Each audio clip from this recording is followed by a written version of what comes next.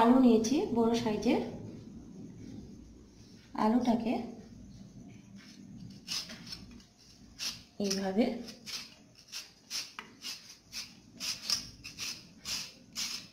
ছিলে নিচ্ছি।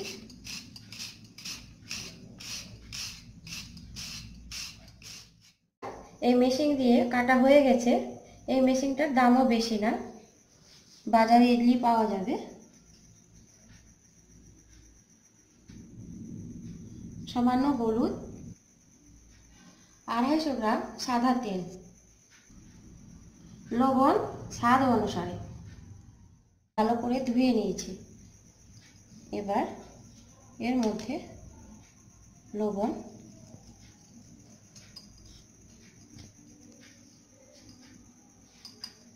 মিশিয়ে দিলাম। এটাকে ভালো করে মেখে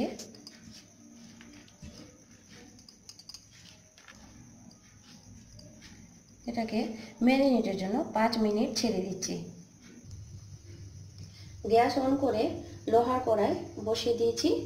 এবার তেল দিয়ে দিলাম সবটা। তেলটাকে আমি ভালো করে গরম করে নিচ্ছি। এবার এর মধ্যে লবণটা যে গলে গেছে, জলগুলো বাদ দিয়ে দিচ্ছি। এভাবে চেপে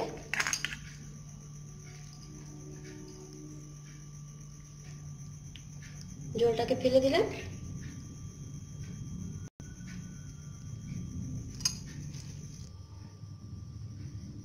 এবার তেলটা গরম হয়ে গেছে হিটটাকে কমিয়ে দিয়েছি।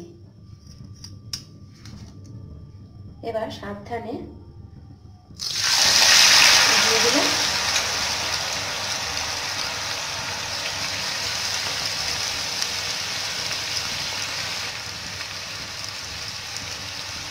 এবার হিটটাকে বাড়িয়ে দিলাম। ফুল আছে।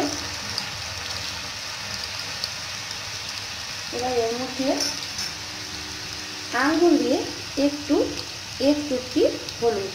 বেশি দিব না। বেশি দিলে কালারটা পুরো ডিপ হয়ে যাবে। লাইট কালার করব। দু চুটকি দিলাম।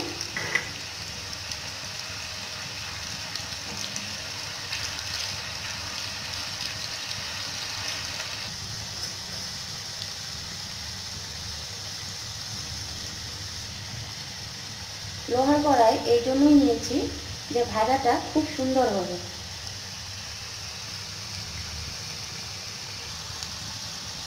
তো মাঝে মাঝে এইভাবে নাড়তে থাকবে। এবার যতক্ষণ লালচে কালার না হয়, আমি ততক্ষণ ছেড়ে দিচ্ছি। আলু ফ্রাই হয়ে গেছে। গ্যাসটাকে অফ করে দিচ্ছি। এই থালার মধ্যে টিস্যু পেপার নিয়েছি। এবার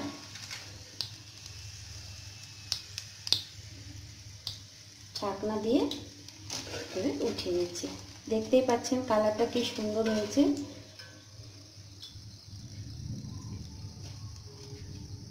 হয়ে গেছে? এবার প্লেটিং করব।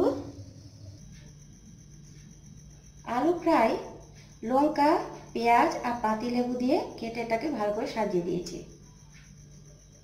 এ আলু ফ্রাই গরম গরম ভাতের সঙ্গে খাবেন, খেতে খুব ভালো লাগবে। আলু ফ্রাই রেসিপিটা যদি ভালো লাগে, তো অবশ্যই ভিডিওটাকে লাইক করবেন আর চ্যানেলটাকে সাবস্ক্রাইব করবেন। পরে এপিসোডে দেখা হবে আবার নতুন কিছু নিয়ে। ইনশাল্লাহ ধন্যবাদ।